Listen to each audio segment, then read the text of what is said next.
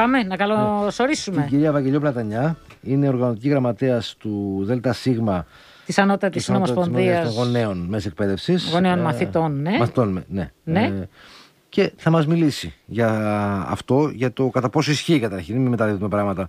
Επίσης, που- αν έχουμε και άλλους Δήμους που το κάνουν αυτό. Βεβαίως, και τι ναι. λέει και η Συνόμοσπο- η Συμφωνία των Συνομοσπονδία. Γονέων, ναι. Κυρία Πλατανιά, γεια σας. Γεια σας, καλησπέρα σας. Καλησπέρα. Μας φάνηκε έτσι λίγο περίεργο και μ, εμ, έως από περίεργο μέχρι εξοργιστικό να ξεκινάνε οι περικοπές από τα μαθήματα των παιδιών. Αυτά Ε, μαθαίνω. δεν είναι καινούριο φαινόμενο βέβαια. Γενικά πολλές περικοπές έχουν ξεκινήσει στα σχολεία. Βέβαια. Αλλά εδώ ο Δήμος της Νέας Μύρνης έδειξε ιδιαίτερο ζήλο. Σπουδή, ναι. Ναι, στην υλοποίηση μιας κατεύθυνσης της ε, κυβέρνησης που λέει να γίνουν, ε, η γνωστή κατεύθυνση ότι πρέπει να γίνουν ε, 10% ε, περικοπές εξοικονόμηση ενέργειας το βάφτισε. Μμμ.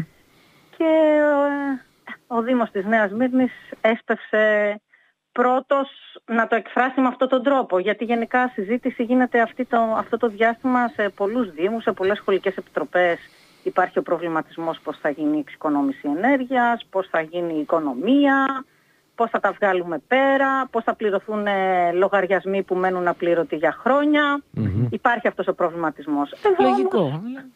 υπήρξε μια, ας το πούμε έτσι, κακή πρωτοπορία.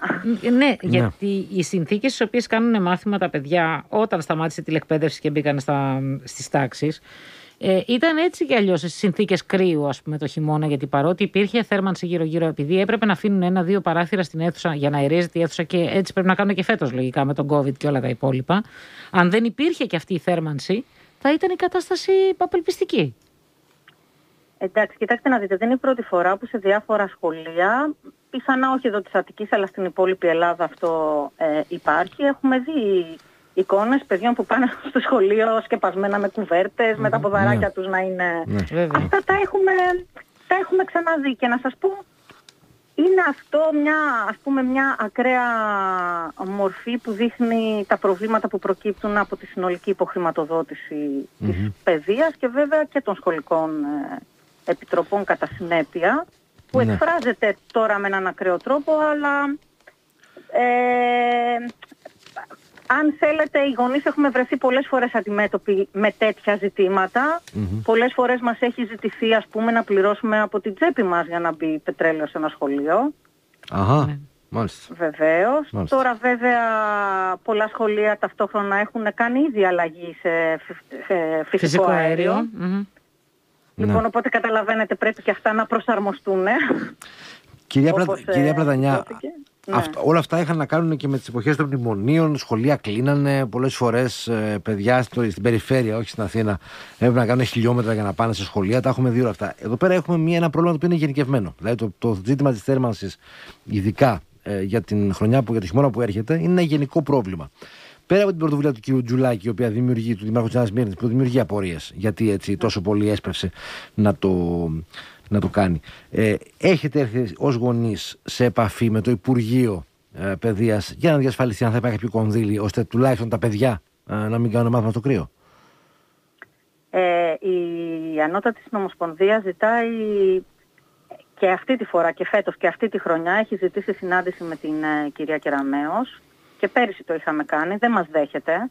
Δεν δέχεται κανέναν Κανέναν, πάντως. δεν θέλει. Θέλει να, να μένει μόνη της η, η, Ε, η αλήθεια είναι βέβαια ότι έχουν απαντήσει γιατί έχουν γίνει και κοινοβουλευτικές παρεμβάσεις από στη Βουλή τέλος πάντων. Ε, Έχουν απαντήσει ότι θα υπάρχουν ε, χρηματοδοτήσεις στις σχολικές επιτροπές. Αλλά ξέρετε και αυτές οι χρηματοδοτήσεις, έτσι όπως το δόθηκε τελικά η απάντηση, ουσιαστικά δεν έρχονται να καλύψουν τις πραγματικές ανάγκες αυτές που υπάρχουν ε, και πολύ περισσότερο δίνονται με την προϋπόθεση της περικοπής, της εξοικονομικής Άρα δεν μιλάμε για πραγματική χρηματοδότηση. Μμμ. Εμείς κοιτάξτε να δείτε ως ε, το κίνημα των γονιών δεν μπαίνει στη διαδικασία και νομίζουμε σωστά κάνουμε Ναι. να σε, σε μια συζήτηση να το πω έτσι θα μας δώσετε τόσα, θα, μα- θα, θα καταδώσετε. Εμείς τι λέμε, εμείς λέμε ότι τα παιδιά μας έχουν ανάγκη να πηγαίνουν σε ένα σχολείο στο οποίο και θα μορφώνονται και θα μπορούν να βγαίνουν από εκεί μ- με υγεία Ναι. ναι, ναι, ναι. που είναι προϋπόθεση φυσικά αυτό να μην κρυώνουν. Μμμ, μμμ. Μάλιστα. Άρα έχει πολύ μεγάλη σημασία για μας το να, ε, να διεκδικήσουμε όλοι σε όλους τους δήμους, αλλά αν θέλετε και κεντρικά από το Υπουργείο και έκτακτη χρηματοδότηση τώρα στις σχολικές ε, επιτροπές. Αλλά να σας πω, εδώ συμβαίνει και κάτι άλλο που είναι παράλογο. Ξέρετε, τα σχολεία προμηθεύονται πετρέλαιο ή, ή πληρώνουν το ρεύμα, το νερό κτλ. Όπως τα πληρώνει ένας ιδιώτης, όπως τα πληρώνει μια ε, επιχείρηση. Για παράδειγμα, το σχολικό ρεύμα, το ρεύμα των σχολείων ας πούμε, πληρώνουν κανονικά ΦΠΑ. Ναι, θα έπρεπε να υπάρχει άλλη πρόβλεψη, έτσι, τελείως, να είναι πολύ διαφορετικά τα πράγματα. Νομίζουμε ότι είναι, πολύ λογικό να υπήρχε, να καταργηθεί το ΦΠΑ έτσι. σε όλους mm-hmm. αυτούς τους λογαριασμούς που πληρώνουν, που, τέλος πάντων που αφορούν, να το πω έτσι, τη λειτουργία των σχολείων.